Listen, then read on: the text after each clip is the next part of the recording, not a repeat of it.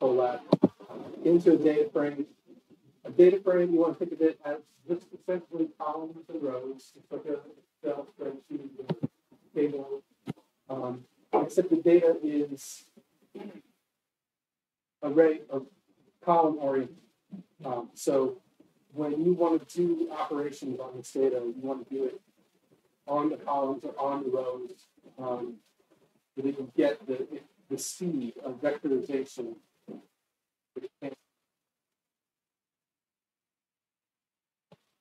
See some of the, I'm displaying some of the data types, you know, in one data set, these are all int64s. This could be a NumPy ndarray. Other data set, we've got mixed data, some text, some numeric,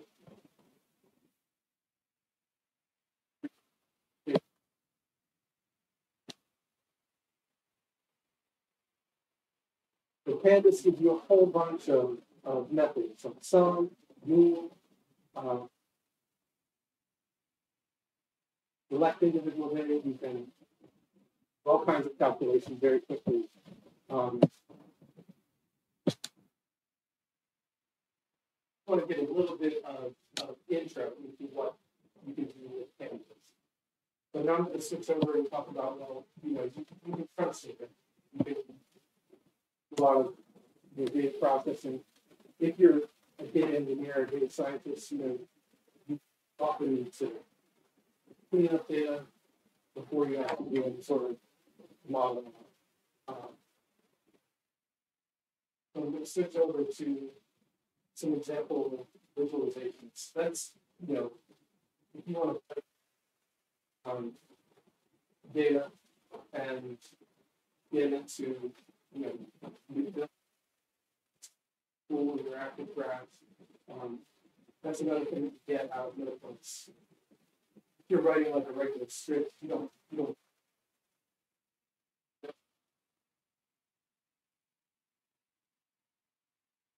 So you can add widgets like sliders.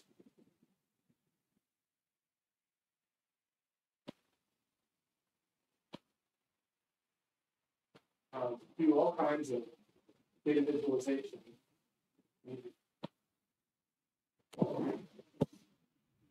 So I didn't talk about how to execute these things. Each cell like comes up with a, a play button. Lets you execute that cell. First, got to connect to the kernel. Um, so this computer is Google's cloud. Um, I've got 12 gigs of RAM, 107 gigs of disk. I didn't have to install anything. I didn't have to install um, all the library for um, bandwidth and Python. Now that I've spun up and run the cell, you see there's a check mark here that's saying it's done. So the value of the slider that I just that I just moved. One library that you probably want to take a look at is uh, Vega. Um, and all and they're all about visualization. There's all kinds of um, interesting graphs you can build with them. Stock picker lets you interact and pick into different stocks.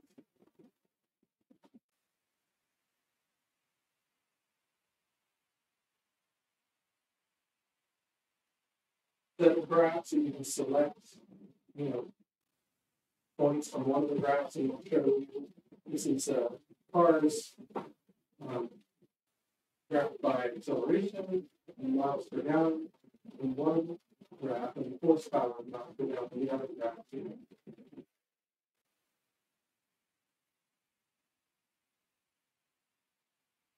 Um, yes.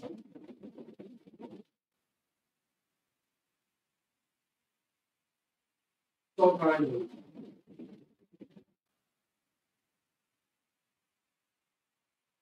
graph you can show. So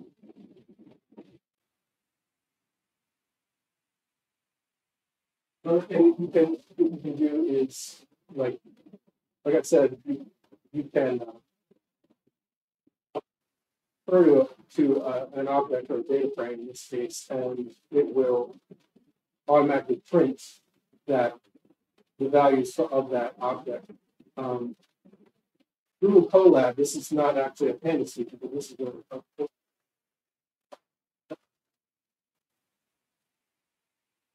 this pandas, you know, you've got data in a table, that's it. You can't really sort or do anything like that. But Colab will let you um, add a feature to sort by values in the table.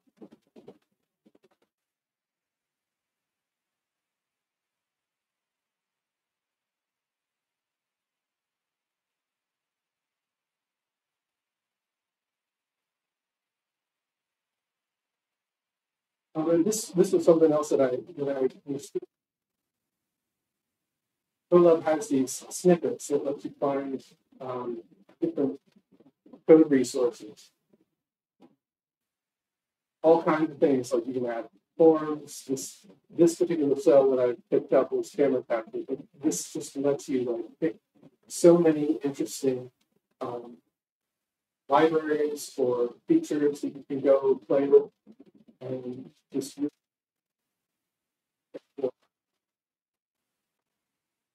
this one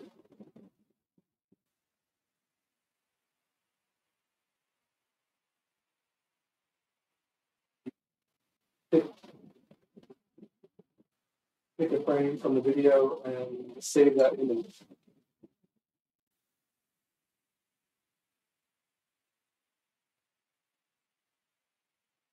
Like I said, Altair is like this amazing library um, that lets you do all kinds of visualization pipeline. Um, there, these graphs are actually like embeddable in the HTML. Um, save the data as like JavaScript, and you can embed them in the web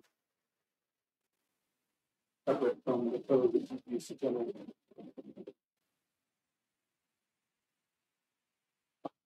Colab has some amazing uh,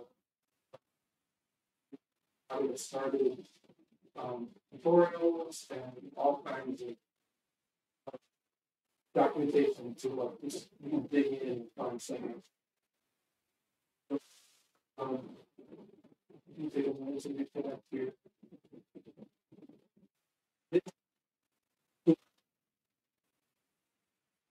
Notebook and it's um, styles of artwork or um, images to other images.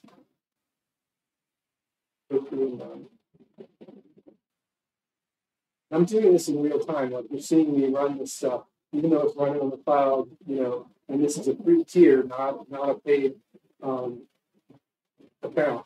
Like you, you so much with this just to get yourself started and, and learn more.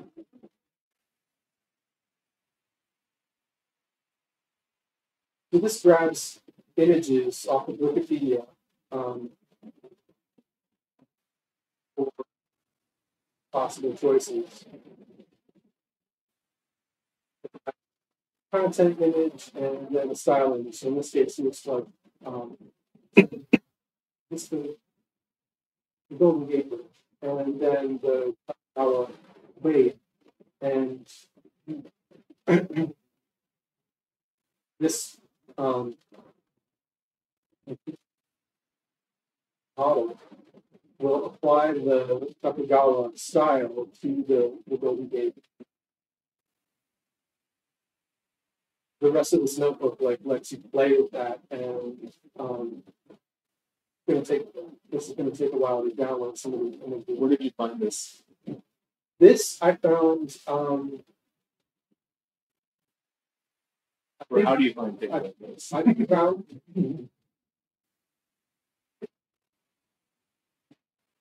So that introduction page, just going through here and finding um,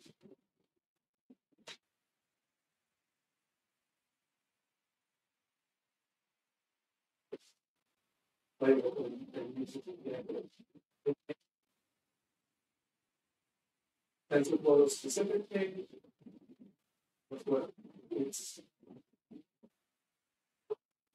this is one that I would pick. It's um, Grace Hopper, and then I, I'm not familiar with painting, but then her face you done in that style.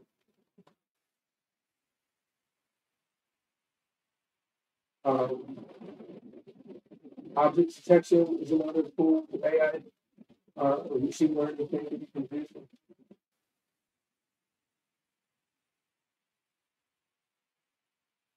One thing to note, like you are limited a little bit in connections you can make. I try to connect this, it's probably going to prompt you and say, hey,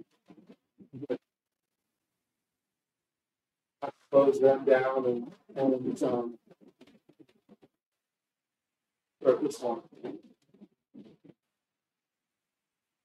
Sometimes you get output saved. Um,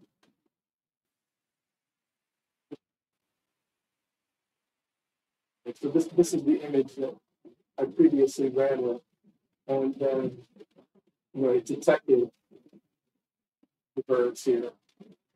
But you can play with all kinds of different um, object detection models. So many like buttons to press and dials to turn.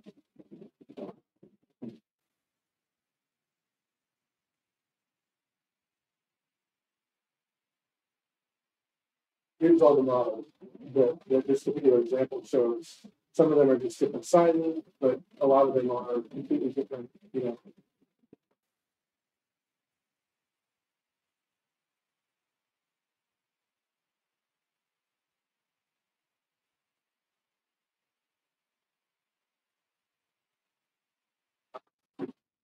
I've looked at uh, what we could do with uh, Chat GPT. Now, this is just um, connecting to the API, but there are actually simple um, models that you can that you can um, download and or not download, but um, import into the page and actually play with them. Um, just to Colab.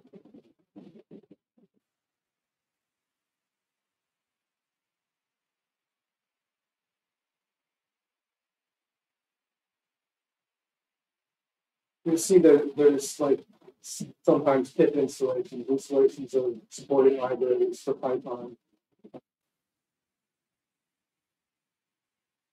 Not all built in, you have to go grab some of those libraries and stuff. But there's so many interesting examples and um, tutorials to really help you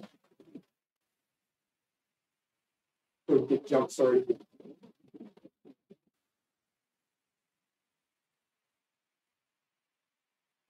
Running the chat GPT client uh, or calling the API. So you can ask chat GPT anything if you want. It to tell me uh, poem about uh, Jupyter notebooks.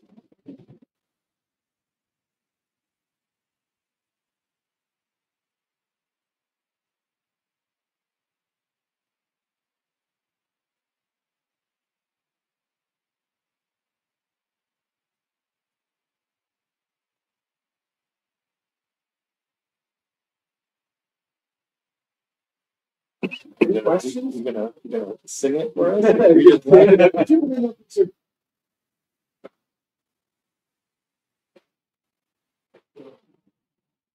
you know, there's so many, so many interesting AI things you can do here or data science type things.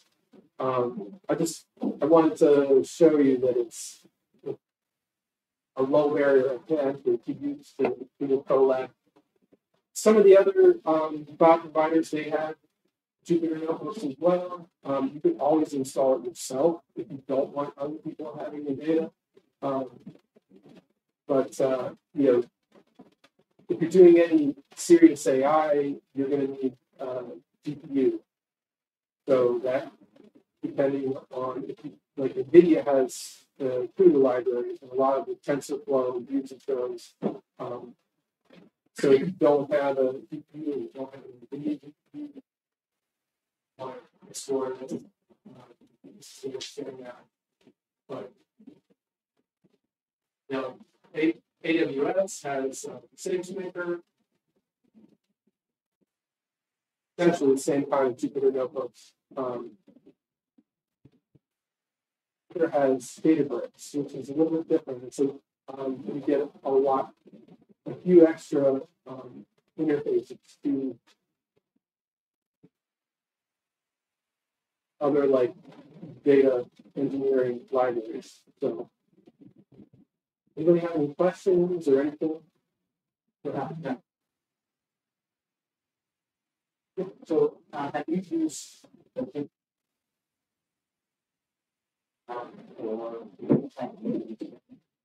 I do use them, not um, day to day, but more for data exploration. Uh, so, like, we, we use a lot of AWS and Azure um, data pipeline type technologies. Uh, as we work actually moving into Azure,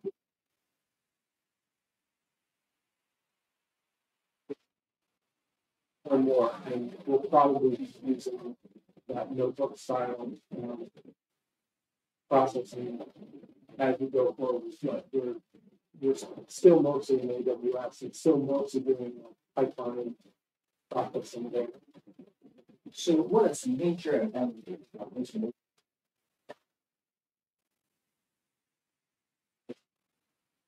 Um, I'd say that the advantage is you have the quick feedback. Um, you, notebooks make it kind of easy to share articles and code at the same time as opposed to just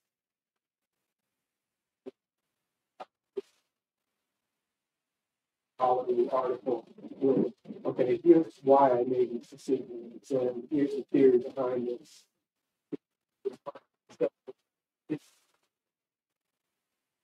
good just for development because you can get test the cell and run a cell and then operation where you read in tens of gigabytes of data and you don't want to do that again. Well, you don't have to run that cell as you're editing the next cell and realize you made a mistake. Oh, you don't have to start that at the beginning where the script you could get around that. You can, you can comment out code that you don't want. It's a little more natural to and simple to um, just not run that cell and you know continue.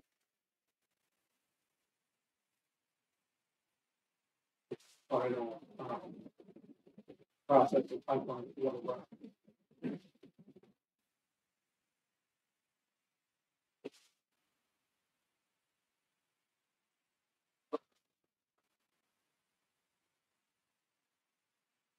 That's possible. Um, there's, yeah, that's right. I mean, there is sharing. I, I don't know um, if you can. It's basically just a Google Doc, right? Yeah, that's what I wondered. Yeah, this is- like that Excel. I mean, the, the files themselves are actually uh, JSON. The, the notebook, when it gets saved, it's a JSON uh, script or a JSON file. And um, so it, it doesn't play well with GitHub. Like if you're using text, it, it, it doesn't uh, it doesn't play well. But um, but other than that, like yeah, you can, you can share it. I don't know if you can collaboratively and um, while, but I, um, I seem to remember like it wasn't as easy as like you can't really see them like what they're typing in real time. Um, but like when you save or update a cell, um, it'll update for the other person.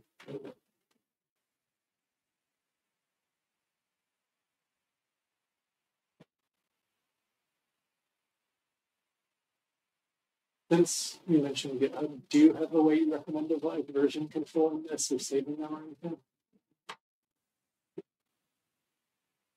GitHub and Apple, um, Colab has a, a nice way of,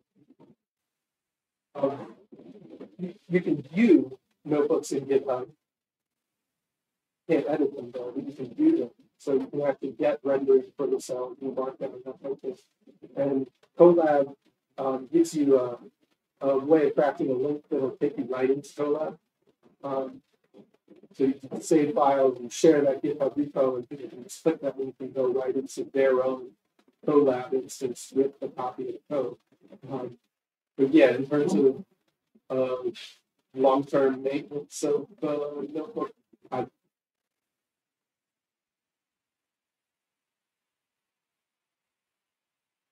There a defined process or recommended process for going from notebooks to production? um, not that I know of. I mean, there are a lot of there's a lot of um, development towards uh, data engineering production tools. I, I'm not a fan of that, to be honest. I feel like when you go into production, you really want to turn things into standalone scripts. You can save um, a notebook as a Python script um, and you know get get to something and bulletproof more there. Um, but uh, there, there's a lot of innovation happening right now where people are trying to automate notebooks. There's some uh, module called Papermill that lets you um, launch notebooks, you know, based on um, cron style um, times or other dependencies. But um, yeah, I don't know that there's like an established way of, of really turning things into uh, production. Doesn't make it matter. Yeah, I mean, I, I think notebooks are more all about exploration and maybe fast development, but not um, the, the bulletproof production. That's what that's my take.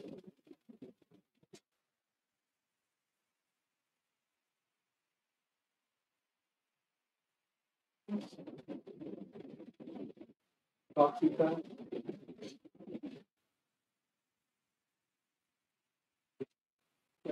See you.